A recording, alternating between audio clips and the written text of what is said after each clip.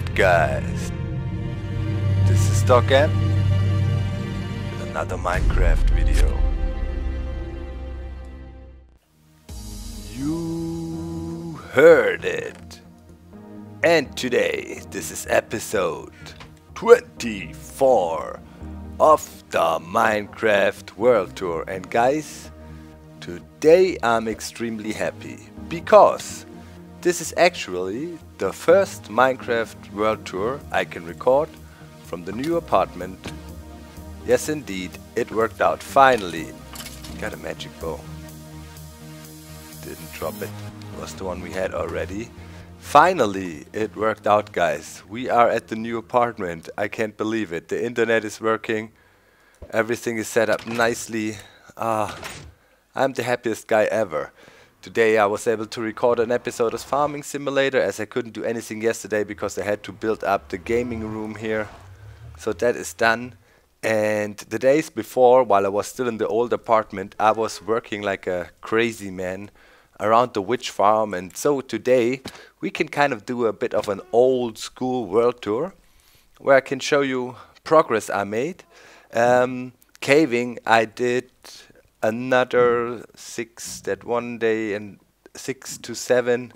The other so another i don't know 13 14 hours of caving went into the witch area and of course some more redstone and pretty cool setup. Really eager to show you guys. Now i'm super happy with it.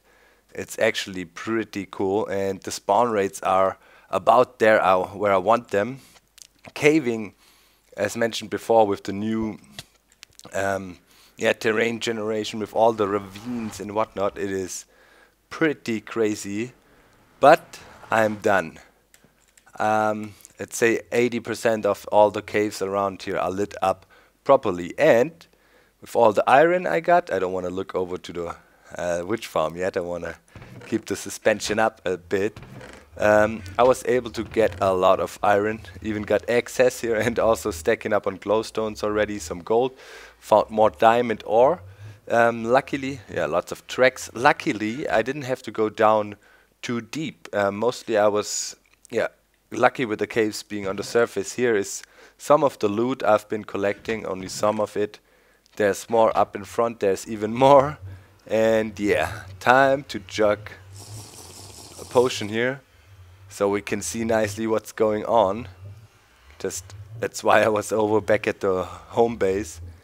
And this is some spawn rates I'm liking now. At the moment the system is switched off. I have a lever here and I can control the floors. It's hooked up now to the reset back there and before more witches despawn, say let's flick the lever and turn on the system and yeah we have this little setup here. Um, it is a cauldron that is sitting on top of my yep, uh, killing mechanism here at the end of the chain now we have to wait for a little bit.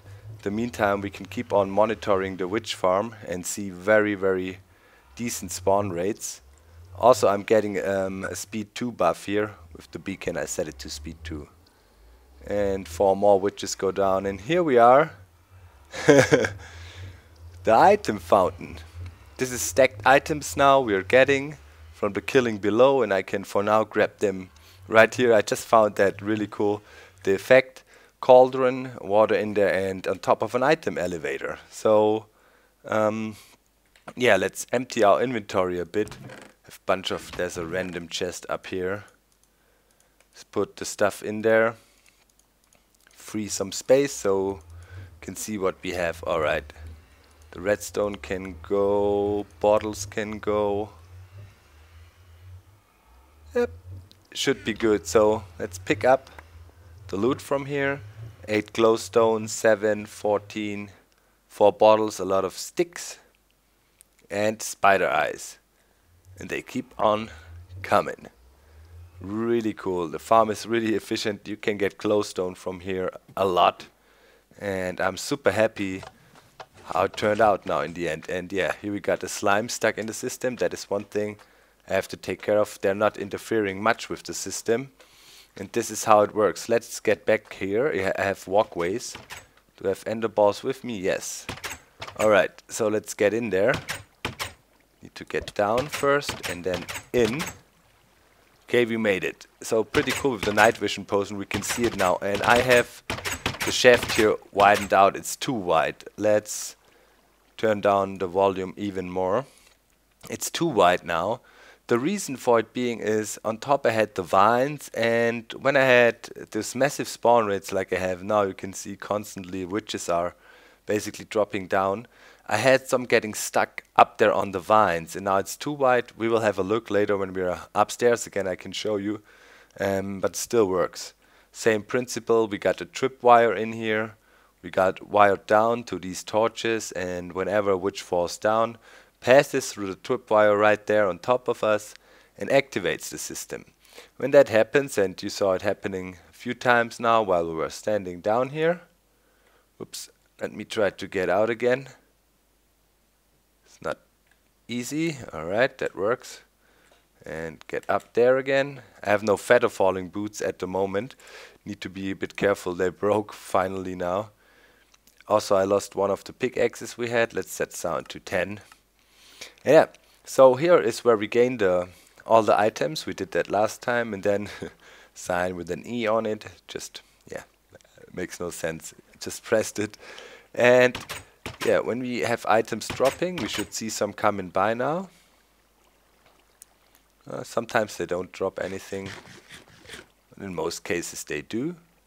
And yeah, items then get washed along here and are pushed forward in the stream here and go around the corner and here we hit the first important part of the whole system. This is uh, an item aligner. Uh, yeah, we just saw um, we had gunpowder coming by and there's some more redstone and sticks so you can see it nicely how they move along in the tunnels here or the tubes. And then they hit this tube and get aligned correctly. And here we have the cool part then. That's an item elevator. It's one of the designs we figured out while we were derping around on JL 2579's creative server. Panda. Um, was trying to make it as simple as possible and still survivor friendly. Um, JL and the crew already did put up a new tutorial for high yield um, item elevators. I'm suggesting you check that out. It's basically the same principle.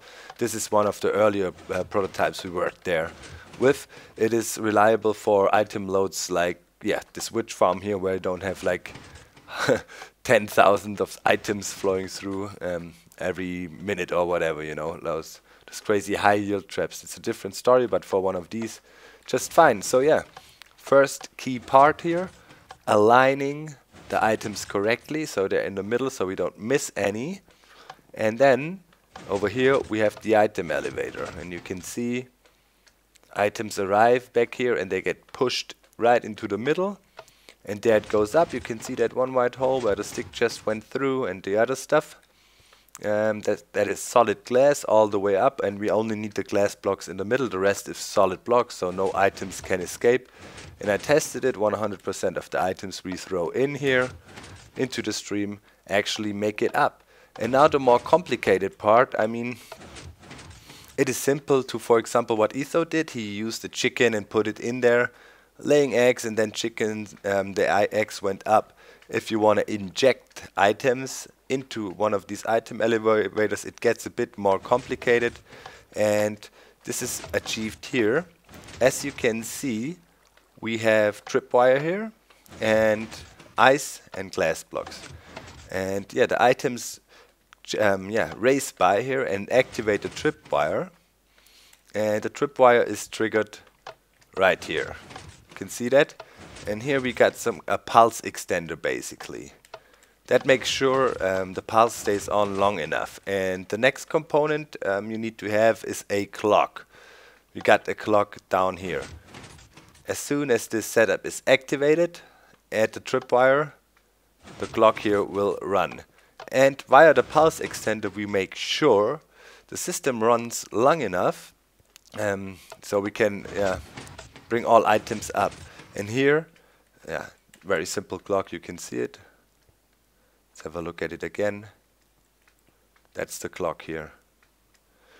Right, and here is the output, and we connect it to our piston setup that pushes the things up. Let's quickly get up on here, items are aligned perfectly in the middle here, or almost in the middle, so we don't miss any. That is pretty key. You can see they get flushed in and pushed upwards. There is a, sl a slim chance, um, if you don't have an item elevator or aligner like I have back there, that items may rest on the left and right side here of the tripwire. So you really need to be um, yeah, careful to have one of these. Um, I have this long loop in there. Why did you do that? You might ask. I will explain you in a second. Um, another safety measure for higher reliability was this cobblestone um, wall here or fence, it is not 100% necessary or it is not really necessary if you work with an item elevator. But yeah, as this is a prototype elevator, we made step by step. Um, yeah, some of the improvements are not implemented yet, but yeah, for my situation, it's just working perfect. All the items I produce here go get washed, washed up. Yeah, and another key thing is after you come out with the clock here, you have that delay. And down there. You can see there's another one in there. Maybe we can see it better from up here. Yeah this repeater connects to uh, is the connection for this piston. So the sideway pushing and the upwards pushing is has an offset of these four ticks here from the repeater.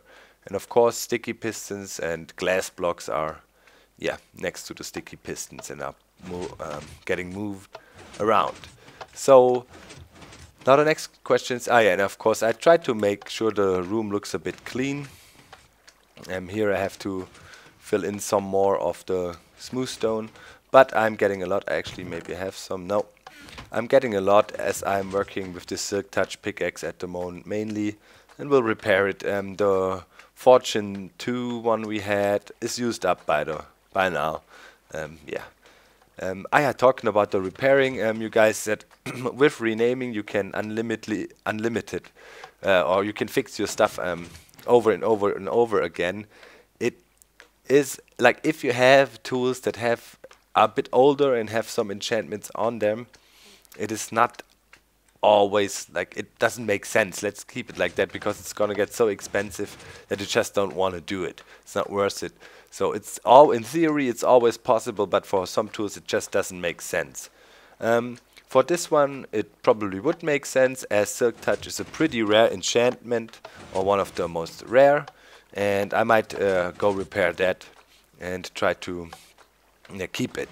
But um, in general I would prefer to repair tools that only have two enchantments um, um, digging tools with efficiency and unbreaking um, to repair those can be really cheap and really worth the time and levels. But yeah, as I said, um, diamonds never been a big problem so far in this world and it's always cool to enchant some new stuff. But if you find some good pickaxes like the one I have, you want to keep it and hopefully repair it. So, another thing I want to address, why do I have this huge loop here? Well, I was uh, monitoring the loot collection upstairs for a while and we are getting um, a lot of um, know, a lot of different uh, pieces of loot, but yeah, my exit here is not really perfected. Wait a sec, I have to focus. Swim up, stay on there a bit, and get over. No. Let's try again. Swim up, stay up, and when we go up, you go over. There we go. So I want to have an item sorting system down there at some stage. Um, because mainly here I'm after the glowstone, the gunpowder, and yeah, that's mainly it. Maybe the redstone, of course, and that's um, another easy way to get a lot of redstone around here. Here's the loot collection, pretty cool. Here is my TNT chest, or yeah, gunpowder chest so far. I'm collecting that.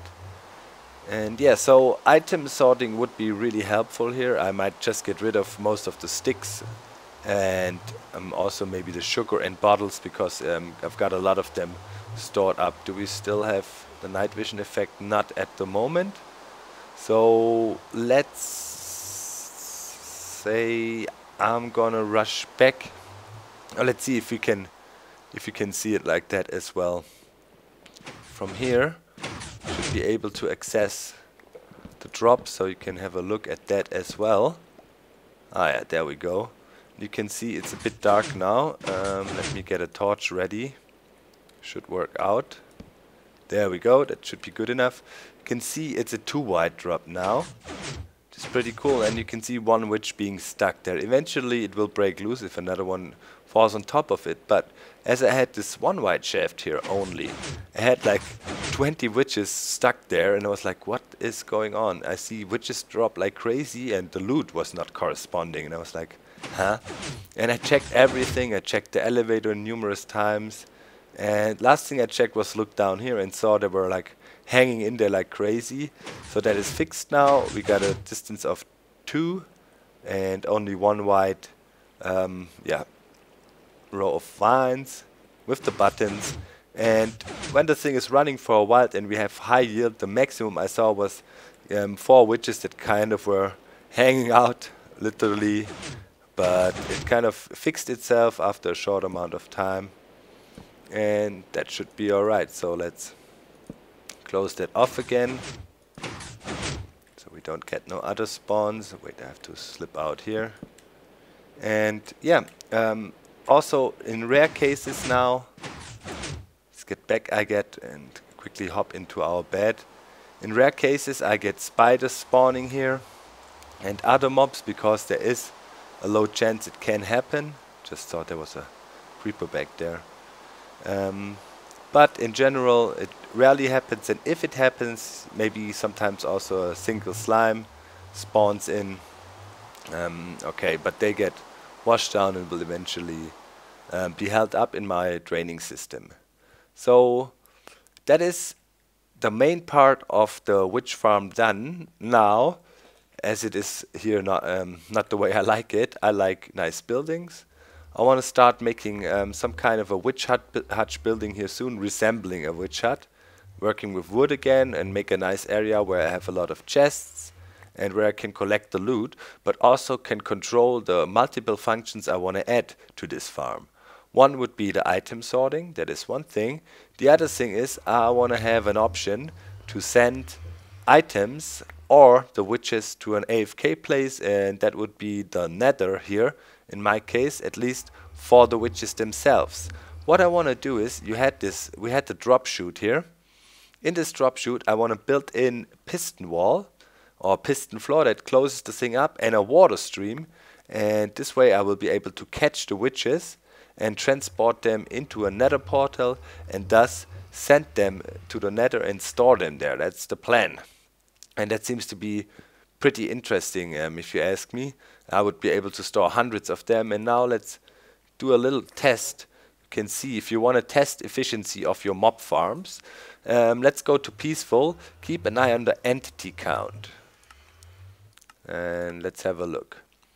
So 20 and that includes some of the items that are still in the system.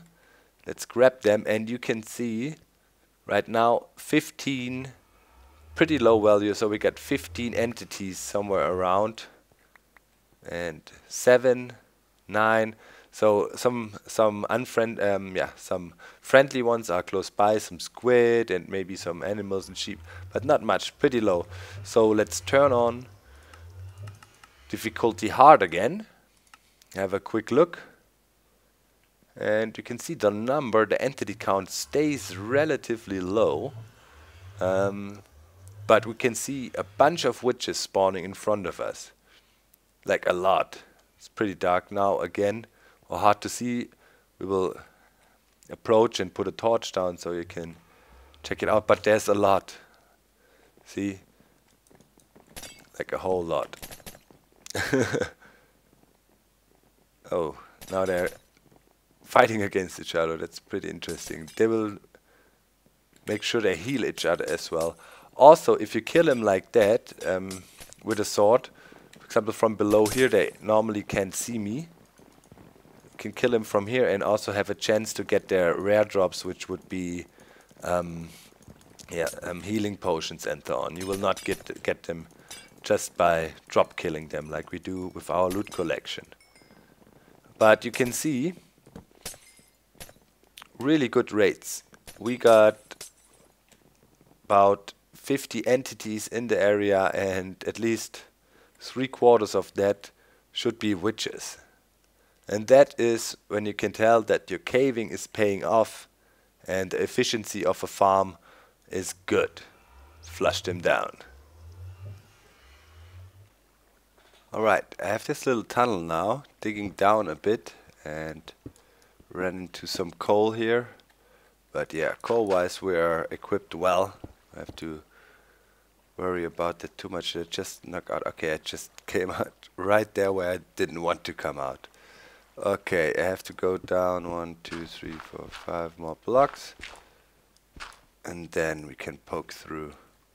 Let's put a torch down. Alright, I have to fix that up there. Um, I think around here, just below there actually, I want to put my piston closing mechanism. Yeah, let's make it this high. So, did I grab the, the button I just lost? No, it should be, can grab it back at the item fountain. Go for now, I want to get the coal. Alright. And yeah, in here, pistons, closing the area off, we will use sticky pistons, have a solid floor, and then have dispensers on one side and put a portal in there. I might go want to go down a bit. When we have the, let's say the piston flow would be here and the portal would be there.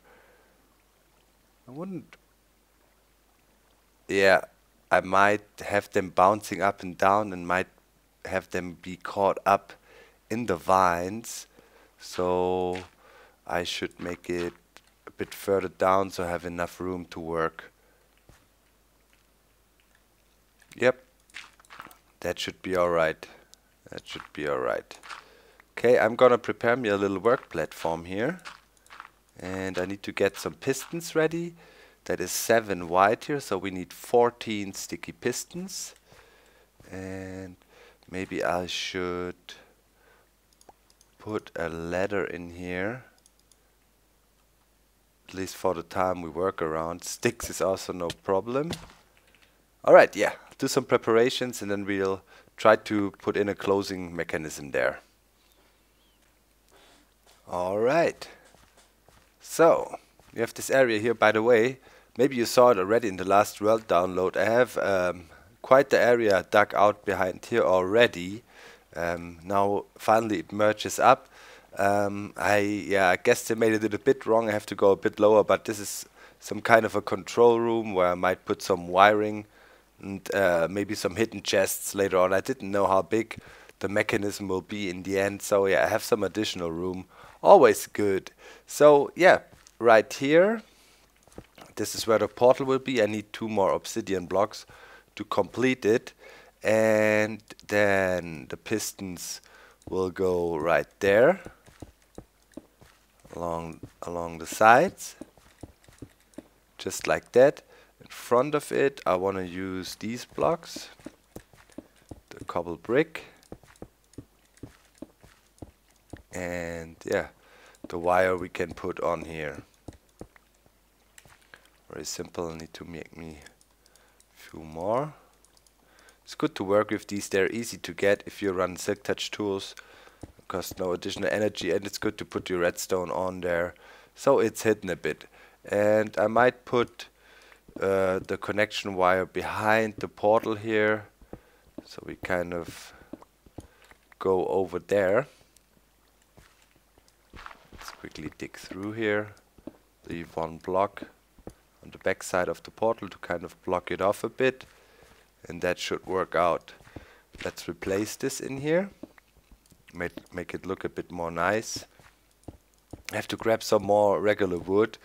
Kind of want to make the area in here a bit more pretty, although, yeah, I mean, you don't, you know, will not be around here actually, so yeah, it's not too important. Just a little bit pretty, so it's not super messy. I don't like that. Alright, and then we just take some redstone. We want to throw that on here. Also gonna throw it on here and then probably come through here and we don't want that. We want to close it off here probably a bit so we just merge back here. We definitely need a repeater somewhere in here to be able to control it. But we could also just work with a redstone torch that is somewhere here attached to the wall. And we have the lever around. Let's see if it reaches reaches all the way. So we save up on some repeaters and this will be the plug um, where we yeah, connect our control mechanism to it. Let's just dig it out behind so we can easily find it. And then somewhere upstairs um, let's quickly make a lever. I will have this lever or button or I don't know maybe I make a control board and then I can control the pistons from here. And of course we need to have walls on the side. It's just this two wide chute so we close it off right there. And in here then we're gonna put two dispensers with water buckets. And when we switch the system we can draw the power from that line here um, those dispensers should be activated and we should be able to flush the witches along here and there will be water flowing here so they should take not no fall damage at all as they're held up also by the vines here. So should be fine. And I think it's still like that if you drop in water you will not take any fall damage at all. And yeah this is the principle of the system here and next episode we need to try out where this portal connects to. I strongly assume it will connect directly to the portal we use at the moment so there might be some portal moving involved. Um, we need to exactly position it to line those portals up to connect them and then should be able to yeah, have two separate entrances because yeah we don't want to end up at the same portal like the witches do. Whoa. No, we don't. We don't want to mess with them. Quite a lot. so alright guys, I'd say that's it for today. Thanks a lot for your support as usual. I hope the sub boxes are alright again. Last episode sub boxes were broken. So in case you have missed that, please go back.